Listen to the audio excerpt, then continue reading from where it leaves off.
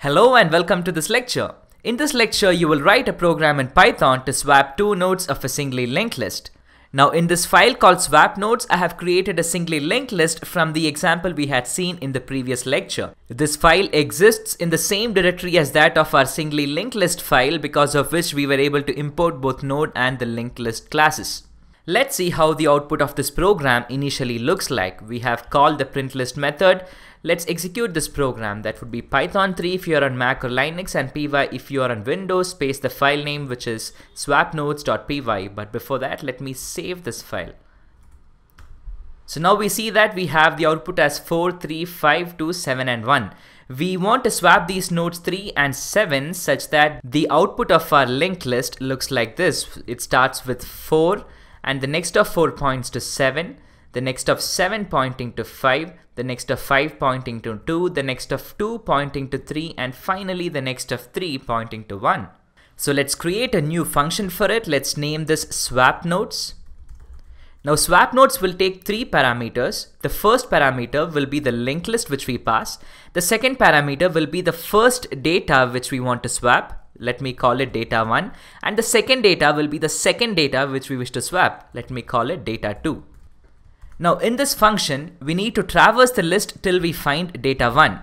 Once we find data 1, that will be our first node and we also need to store the node previous to that. And then we once again traverse the list till we find data 2. Once we find data 2, that will be our second node and we also need to store the node previous to that. Let's see how to do that. So we first traverse the list. Let me make use of a temporary node. Let me call this one current node, which starts from the head node. Now we also need two additional nodes to keep track of the previous node. Now initially these two nodes are none. So let me call this previous first, which is initially none, and previous second, which is none as well.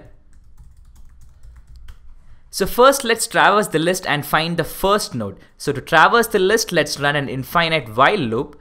And within the while loop, we check if this data 1 is equal to your current node's data. So we have an if condition within this if your current node dot data is equal to data 1 then that means you have found the address of your first node so let's store that in a node so your first node will be your current node and then we can break from this loop now in case the current node dot data is not equal to your data 1 then we need to advance to the next node so that would be current node equal to current node dot next but before we advance, we need to store the previous node as well. So that would be previous first equal to your current node. So when this loop breaks, you will have the details of the node with data 1 in first node and the node previous to that in previous first. Similarly, let's repeat this operation for our second node as well. So we will once again start a current node from head node. So that's current node equal to self.head and while true, this time we check if your current node is equal to your data 2. And if it is equal to your data 2, we store the details in the second node. And then we break from the loop. And if it's not equal, we store the details of previous node and previous second. And then we advance the current node to next. So when this loop breaks, your second node will have the details of node with the data 2 and your previous second will have the node that's previous to that. So this is how our linked list initially looks like. We have the head node as 4 which points to 3, 3 pointing to 5, 5 pointing to 2, 2 pointing to 7 and finally 7 pointing to 1. And this is how the final linked list looks like which we had earlier written. Let me put this up here as well. So now we have the details of node with data 3 in first node, the node with data 4 in previous first, the node with data 7 in second node, and node with data 2 in previous second. So let's change their pointers such that we arrive at this particular linked list. So let me just mark all those nodes here. Your 4 is previous first. Your 3 is first node. The node with data 7 is second node, but before that let me mark 2. 2 will be your previous second. And finally 7 is the second node. So once both the while loops break, let's change pointers. Let me mark it as changing pointers. So first 4 needs to point to 7. Where is 4? 4 is in previous first. So your previous first dot next should now point to 7 and where is 7? That's in second node. Similarly, your 7 now needs to point to 5. Where is 7? That's in second node. So your second node dot next should point to 5. And how do you get the address to 5? 5 can be obtained from the next of 3. And where is 3? That's in your first node. So your second dot next will be your first node dot next. So we have completed this connection. Next we need to complete 2 to 3. Now where is 2? 2 is your previous second. So your previous second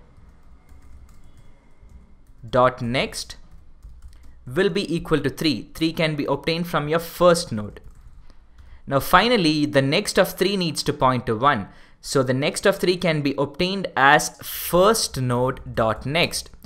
But how do you point to 1? 1 was earlier stored as the second node's next, but we had changed the second node's next. So before we change second node's next, let's store that in a temporary node.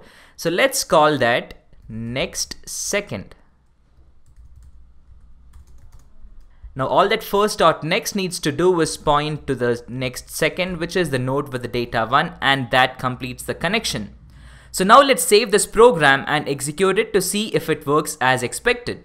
But before that, let's call this function from our main function that's your swap nodes to which we pass our linked list and the data 1 which is 3 and data 2 which is 7. So now let's save and execute this program. Let's open our terminal now on execution, we have an error. Let's see what that is. It says name self not defined. Looks like I'm too used to writing methods within a class. This method swap nodes is outside the class because of which we do not have self here. What we have is the linked list itself. So we need to change self as linked list dot head in both the places. So now let's save and execute it once again to see if it works. Now this time on execution we see that it works. We have the first node 4 and this time the next of 4 points to 7 and the next of 7 points to 5, the next of 5 points to 2 and the next of 2 points to 3. So now 7 and 3 have been swapped and we have a result. Congratulations if you have been able to do that all on your own, but even if you haven't been able to, that's alright, you will get there with a lot of practice. So that's the end of this lecture. I'll see you in the next lecture where you will learn how to sort a singly linked list. Thank you.